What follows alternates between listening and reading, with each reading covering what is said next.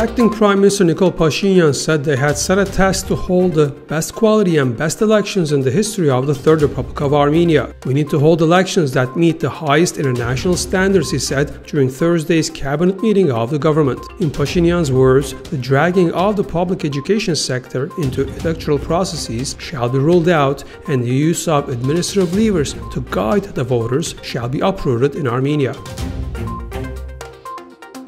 U.S. National Security Advisor John Bolton's expectations for the Azerbaijan Karabakh conflict settlement are not realistic for various reasons, Artsakh Foreign Minister Masis Mayilian said. He explained that the positions of the Republic of Artsakh and the Republic of Armenia on the settlement of the Karabakh conflict are clear. The authorities of Artsakh have consistently stressed the need to restore the trilateral format of the negotiations with direct and full participation of the Republic of Artsakh in all stages, which is crucial in facilitating a peaceful settlement and ensuring the effectiveness of the process, Mayilian said.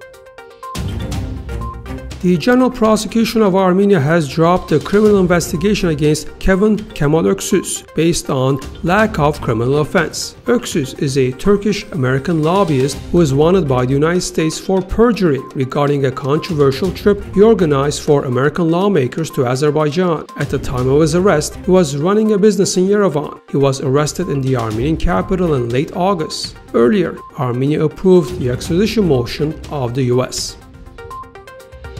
Armenia's Prosecutor General Artur Davtyan decided to permit the extradition of thief-in-law Merab Kalashov to France. The Prosecutor General's press service said the decision was based on France's request and the petition on the arrest and extradition of Kalashov, who is charged with money laundering and promoting organized crime. He has been in custody for two months.